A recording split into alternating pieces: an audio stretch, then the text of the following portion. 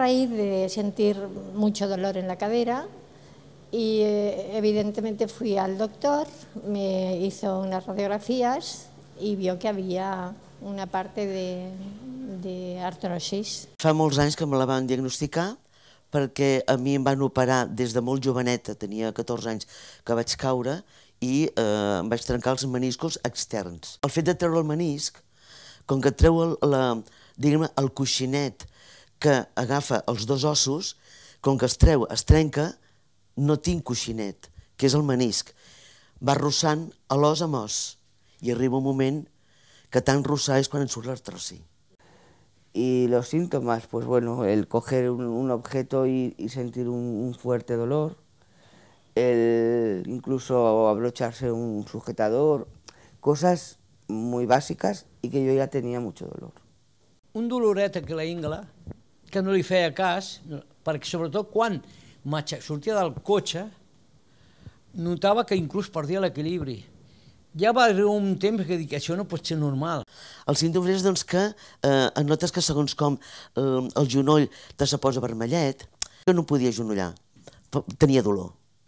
Pues me dieron antiinflamatorios y a la vez después un tratamiento rehabilitador a base de calor, corrientes y naturalmente cierto reposo. Tratamiento, pues eh, la prótesis. Pues me hacen hacer ejercicios, es vital el ejercicio. A ver, muy pausado, ¿eh? es estirar en la cama y hacer pocos movimientos, tampoco es una cosa agresiva. Luego unos baños en las manos con un, no me acuerdo cómo se llama, un líquido que me, que me dio la, la, la fisio. Y hacer los ejercicios y poco más. L'operació és una operació forta, perquè, clar, és que et treuen tot i et posen alguna que no és teu. Però l'operació perfecta.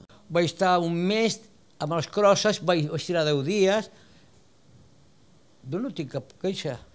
El procés és lent, perquè és lent, pero es, es, muy positivo. Bueno, algunos, porque evidentemente no puedes caminar en tu forma habitual, eh, has de ir más lenta y acostumbrarte a que tienes algo diferente. Todos, todos, porque antes haces las cosas sin, sin fijarte y ahora es que o te fijas o cojo un vaso y abro la mano porque no aguanto el, el, el, no el peso y el gesto. Enfocar la vida de una manera que le sea más fàcil no provocar ese dolor. Això del, del fet de poder pujar les escales bé i sobretot baixar-les com s'han de baixar les escales, perfecte. I dormir, dormir perfecte, que no em tinc que despertar pel, pel dolor, això és molt positiu.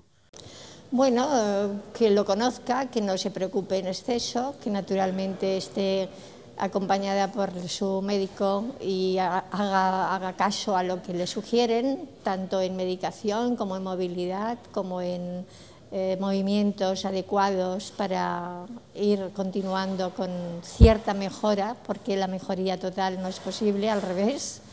Pues que hiciera mucho caso a lo que le dicen, porque yo al principio no lo hacía. Y realmente sí que te ayuda y lo hacen para ayudarte, todo lo que parece tonto, los ejercicios, los baños, però realment ajuda. Bueno, si, si, si degut a l'artrosi, en el meu cas, que té l'artrosi en els genolls i que ha d'acabar amb, amb pròtesi, que no s'ho pensi, que no s'ho pensi i que endavant, i que endavant, que bueno, que tenim molts anys, molts anys per donar guerra a molta gent encara. Sí, sí.